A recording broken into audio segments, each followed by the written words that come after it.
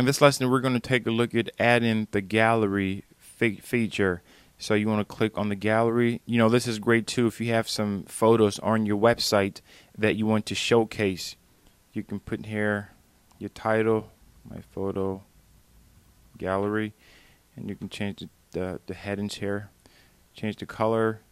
With the thumbnail, you know, you can choose the width and you can choose the height for that and then here's where you change the the items.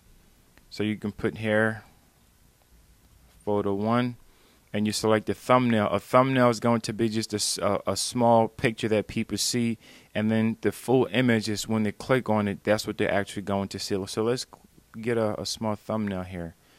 I'm just gonna grab all right let's just grab this this Google. And then let's grab Matter of fact, let's change this here. Let's grab something a lot.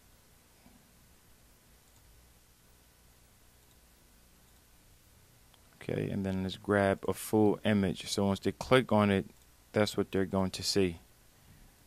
Now, if you want it, you can add multiple, you know, photos. So let's add, let's copy this.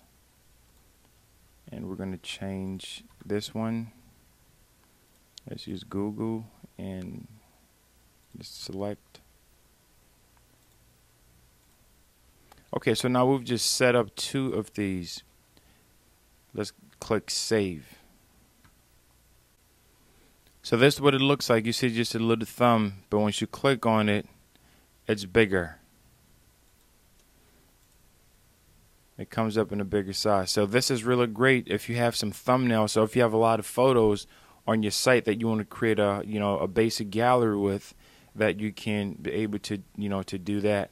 And then you can also change the pictures to add more or you can you know update the, the existing ones